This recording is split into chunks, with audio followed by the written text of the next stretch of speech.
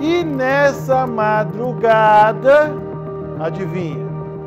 Um homem de 47 anos foi preso. Adivinha? Por espancar, por torturar a esposa e o filho de 11 anos. Você quer que eu chame ele de homem? Você quer que eu chame ele de um de homem?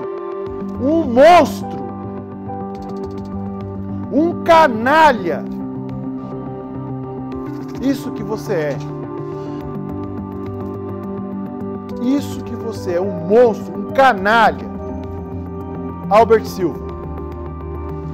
E olha só, Israel, ocorrência registrada na madrugada de ontem, né? Um homem de 47 anos, ele acabou preso aqui entre as lagoas. É, esse fato aconteceu na madrugada.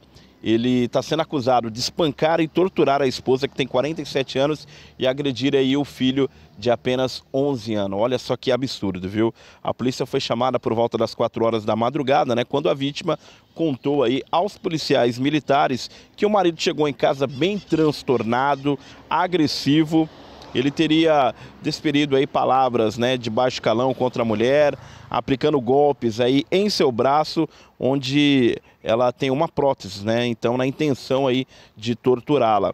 Ainda segundo a mulher, em depoimento, ela precisa fazer um acompanhamento médico devido a essa prótese que ela tem e o marido, né, proíbe ela de ir ao médico. Olha só que absurdo, viu?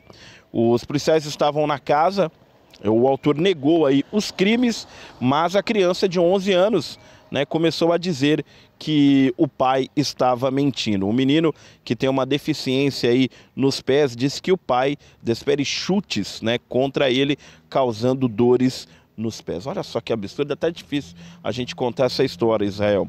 Ele foi preso, viu? Foi levado para a delegacia, é, portanto essa ocorrência foi registrada aqui entre as lagoas. Esse homem aí espancando, torturando a mulher que tem 47 anos e também agredindo o filho de 11 anos. Ambos têm aí uma deficiência e esse absurdo né, aconteceu na madrugada de hoje aqui em Três Lagoas.